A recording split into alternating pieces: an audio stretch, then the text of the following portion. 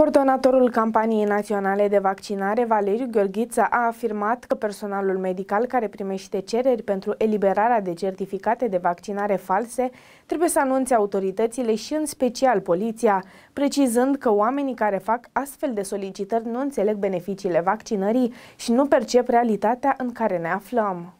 Valeriu Gheorghiță a afirmat că cei care solicită astfel de certificate false de vaccinare sunt cei care nu respectă măsurile de prevenție și ignoră recomandările medicale. El a menționat că astfel de gesturi nu fac decât să decredibilizeze corpul medical.